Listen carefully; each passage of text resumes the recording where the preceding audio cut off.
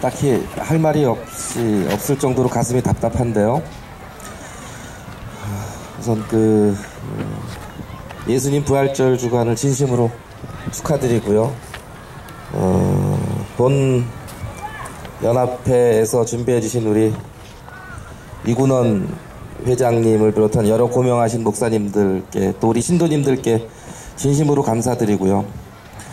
우리 시민 중에 한 아이가 지금 진도 앞바다에 있습니다. 비봉에 사는 아이, 봉담에 사는 아이인데요. 12명의 우리 해병대원들이, 우리 시의 해병대원들이 목숨을 걸고 지금 구조 작업을 하고 있어요.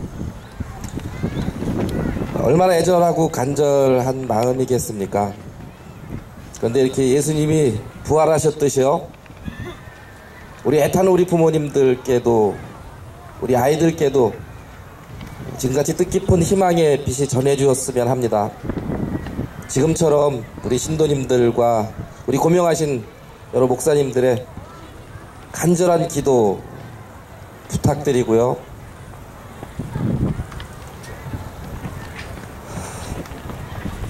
제가 자리에서 이렇게 말을 못하긴 처음인 것 같은데요. 너무 안타깝고 가슴 아픈 일입니다. 다시 한번 우리 신도님들의 간절한 기도 부탁드리겠습니다. 고맙습니다.